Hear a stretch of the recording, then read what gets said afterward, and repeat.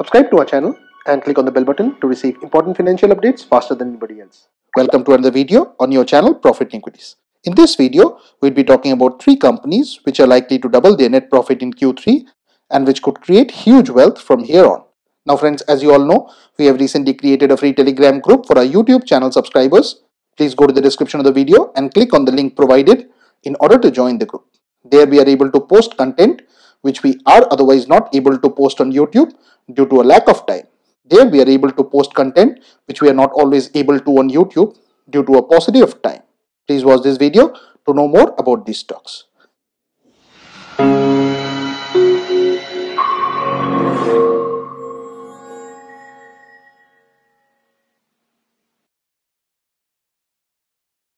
Now the first company on the list is Blue Star Limited which is available at rupees 822.60 and the face value for it is 2. The symbol for it is B-L-U-E-S-T-A-R-C-O. Now Blue Star Limited engages in the manufacture, trade and installation of air conditioning systems.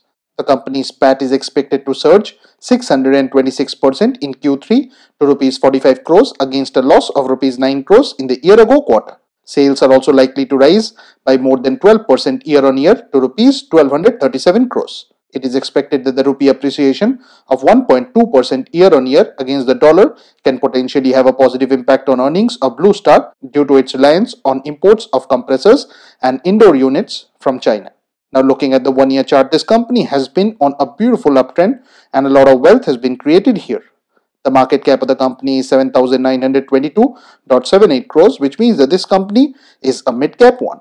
The EPS of 20.11 translates into a price to earnings ratio of 40.91, which is much more expensive when compared with the industry price to earnings ratio of 20.79. The price to book ratio of 9.06 is also very high. The company has a debt to equity of 0.4563, whereas the return on equity for this company is 0.2327. The dividend yield here stands at 1.22%, whereas the promoter holding is also below average at 38.76%. None of the promoters holding is pledged.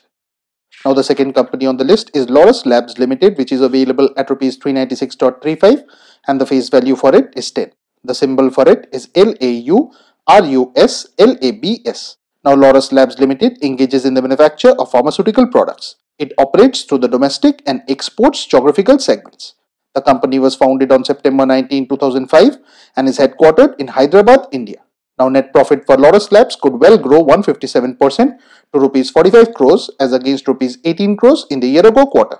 Sales on the other hand is estimated to rise 29% year on year to rupees 685 crores. It is expected that the company is going to deliver strong year on year growth led by superior execution and the formulation segment. Now looking at the one year chart, this company has not really created any major wealth for its shareholders and has largely been choppy. The EPS of 12.41 translates into a price to earnings ratio of 31.94 which is largely in line with the industry price to earnings ratio of 30.18. The price to book ratio of 2.72 is also not wildly expensive. The company has a debt to equity of 0.6087 whereas the return on equity for this company is also nothing special at 0.0853. The dividend yield stands at 0.38%, whereas the promoter holding is also below average at 32.73%. A worrisome 31.69% of the promoter's holding is also pledged. Now the final stock on the list is Birla Corporation Limited which is available at rupees 649.60 and the face value for it is 10. The symbol for it is B-I-R-L-A-C-O-R-P-N. Now Birla Corp Limited engages in the manufacture of cement. It operates through the following segments which are cement, jute and others. The company was founded by Madhav Prasadji Birla and Priyamvada Birla on August 25, 1919 and is headquartered in Kolkata, India. Motilal Oswal estimates the net profit of the company to rally to 30% on a year-on-year -year basis to rupees 90 crores as against rupees 27 crores in Q3 of FY19. Meanwhile, sales could also go up almost 7% year-on-year to rupees 1664 crores for the quarter ended December. The brokerage further noted that consolidated cement volumes are likely to rise 4% year on year to 3.34 metric tons, adding that better prices in north and central are to offset the weaker prices in the east. The brokerage firm expects blended EBITDA per ton at rupees 946 and suggests investors should watch out for an update on capacity expansion and the associated timelines. Now looking at the one year chart, this company had a stupendous rise towards the middle of the year but since then has been a laggard. The market cap of the company is 5002.27 crores, which means that this company is a small cap one. The EPS of 49.93 translates into a price to earnings ratio of 13.01, which is much more cheaper when compared with the industry price to earnings ratio of 39.03. The price to book ratio of 1.11 is also not expensive.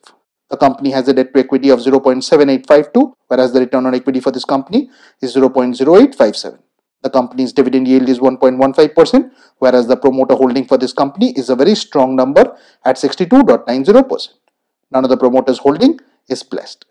Now friends, please don't consider this to be a recommendation on our part. Please go ahead and do your own research. This and all other content that you see on our channel is intended only to be a piece of news. Thanks for watching and if you have not already subscribed to our channel, please consider doing so.